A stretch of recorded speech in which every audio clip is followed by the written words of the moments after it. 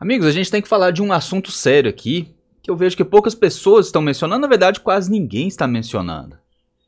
Que foi o aparecimento de um transtorno ou de uma síndrome chamada transtorno pós-Bolsonaro. Sabe, ele atingiu todas aquelas pessoas ali de caráter fraco, né, de inteligência questionável, e ela passou a atingir essas pessoas assim que o Bolsonaro começou a despontar como real uh, candidato, como uma pessoa que tinha reais chances de chegar à presidência da República. Quem não se lembra de 2018 ainda, quando aqueles militantes desesperados da esquerda começaram a desenhar em si mesmos umas suásticas aqui para falar que eles tinham sido atacados por apoiadores do Bolsonaro. Vocês lembram disso? Hã? Quem não se lembra da Folha de São Paulo inventando que havia tido acesso a contratos de empresários uh, que haviam solicitado, requisitado disparo em massa e nunca apresentou esses contratos, né?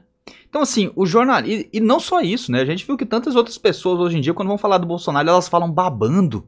Elas falam assim, completamente deslocadas, sem nenhum apego à realidade. A gente vê esse pessoal aí do antagonista, né? Eu não tô falando só do pessoal da extrema esquerda, não. tô falando desse pessoal uh, da, da, esquerda que se, se revelou, né? Essa galera do antagonista, uh, Felipe Moura Brasil, Nando Moura, galerinha do MBL lá, os meninos do MBL. Essas pessoas parece que a realidade para eles virou um mero detalhe no caminho dos ataques que eles têm que fazer contra o Bolsonaro. Então parece que eles tentam pensar assim: olha, isso faz sentido que eu vou falar? Ou eu vou parecer um idiota completo, uh, uma pessoa que não tem noção do que está falando, e até uma criança de 2, 3 anos de idade riria de mim da falta de coerência que eu dou aqui se for para atacar o Bolsonaro, eu posso escolher esse caminho aqui de parecer um idiota completo. E, na verdade, eles não têm vergonha nenhuma de parecer idiotas completos. E hoje eu trouxe aqui, talvez, o grande mestre deles, né?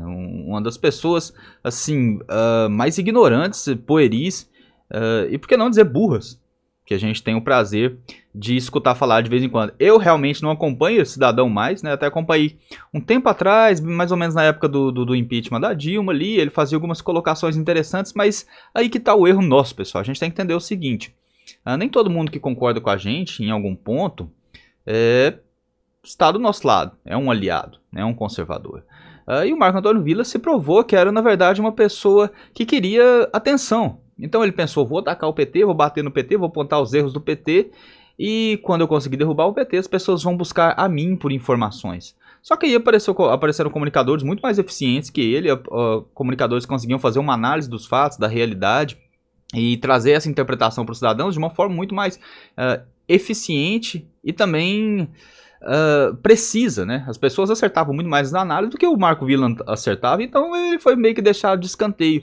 E aí ele ficou com raiva disso, porque ele também viu o aparecimento, o surgimento do Bolsonaro, e ele pensou, nossa, eu preciso derrubar esse cara, né? Tipo assim, eu tirei a Dilma para colocar esse cara, não é possível. A atenção era para vir para mim, pro meu grupo, pros políticos que eu gosto. E aí ele ficou muito, muito revoltado quando depois que a Dilma saiu, eh, os políticos dele, que também representam a velha política, foram deixados de lado e o pessoal escolheu o Bolsonaro, que apesar de ser uma pessoa com 27 anos de Congresso, era um completo outcast, né? Era uma pessoa completamente fora do sistema, né? E, enfim, hoje em dia você encontra o Marco Antônio Villa nas redes, passando vergonhas monumentais e dando esses ataques aqui que realmente você fica com dó dele. Vamos ver aqui a gravíssima acusação que ele fez contra o presidente Bolsonaro e me digam se vocês concordam comigo ou não concordam. E agora o vagabundo é, tá lá, tá em Roma, passeando. E o pior é que eles nem sabem a importância de Roma. Tá valendo todo aqui o, o material que ele fica andando por Roma e não tem a mínima ideia do que está vendo, do que é apresentado, né? Foi, foram falados, olha, venha ver aqui as termas, tal. Nem aí, ele nem sabe. Ele, ele chegou ao cúmulo, esse homem, esse criminoso, esse Jair Asmodeu Bolsonaro, chegou ao cúmulo de entrou lá onde vende salame, tal, papá, aí ofereceram um café, ele se recusou a tomar café e foi tomar Coca-Cola. aí Oh meu Deus do céu, esse é o cúmulo, esse foi o cúmulo. Essa é a pior coisa que poderia ter acontecido e que aconteceu na viagem do Bolsonaro a Roma, ele se recusar a tomar café. Então vocês estão vendo, pessoal, por que, que eu falo que essas pessoas aqui não são para ser levadas a sério? Esse tipo de analista aqui, ele perdeu tanto espaço, ele, na verdade, ele está naufragando na própria arrogância, né? E você vê todos esses livros aqui, não duvido que ele tenha lido esses livros não, mas você ler, absorver e aprender alguma coisa é completamente diferente essas três coisas, ok? Então ele está agora se afogando na própria arrogância. Aquela questão, quanto uma pessoa que ela é humilde, uma pessoa que tem conhecimento da sua ignorância, geralmente é o melhor tipo de analista que tem, tá? Agora, essa pessoa aqui que acha que sabe demais, acha que já sabe tudo e tenta fazer suas análises, ela deixa de levar em consideração a realidade, os fatos, e ela acaba uh, brigando com o que ela está vendo na frente dos olhos dela. Ela acaba brigando com aquilo que está acontecendo na frente dos olhos dela, porque a opinião dela passa a ser mais importante, né? E o Marco Antônio Villa, gente falando de transtorno pós-Bolsonaro, você vê que talvez ele seja o paciente mais grave no Brasil hoje em dia, né? Tirando aqueles loucões de, loucões de extrema esquerda lá.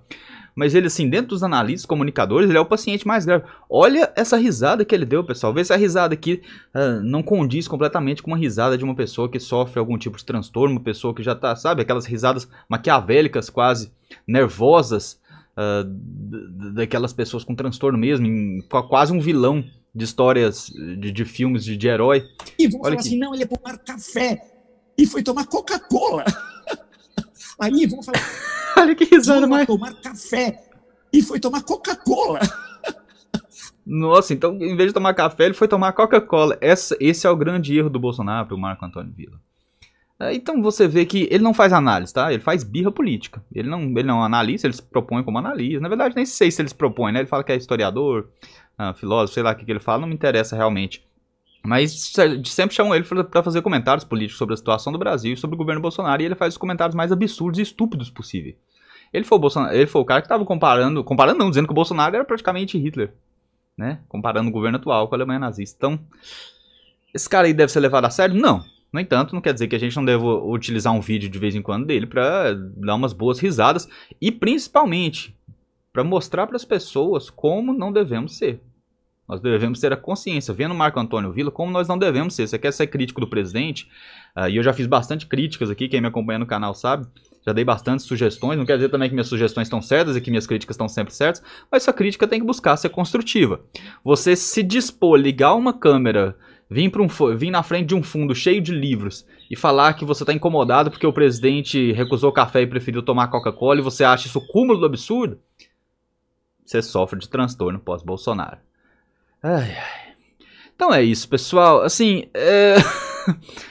tem muito o que dizer. É uma pessoa completamente transtornada. Se vocês virem ele na rua, chegarem a, a, encontrar com ele, topar com ele na rua, sabe? Tenham paciência, tenham cuidado, principalmente. A gente não sabe quais são os outros sintomas, né? O que pode acontecer, se a pessoa pode ficar agressiva, morder. Por enquanto é só esse tipo de risada descontrolada aqui. Mas pode vir mais coisa pelo caminho, sabe? A gente tem que tomar cuidado, sim. E principalmente, uh, evitem se aprofundar na sua arrogância, evitem ser dominados por ela é, a, a, consciência da sua própria ignorância em relação aos temas, né, que vai te fazer estudar cada vez mais e ser cada vez mais humilde na hora de interpretar, analisar e comentar algum fato, né. Aqui ele está completamente deslocado, a gente vê aqui que é, o transtorno pós-Bolsonaro é real e infelizmente acometeu esse cidadão aqui ao ponto, do, ao que me parece, irreversível. É isso, não esqueça de se inscrever no canal, deixar seu like, seu joinha, compartilhem esse vídeo com seus amigos no WhatsApp. E muito obrigado a quem acompanhou, pessoal. Um grande abraço, fique com Deus e até a próxima.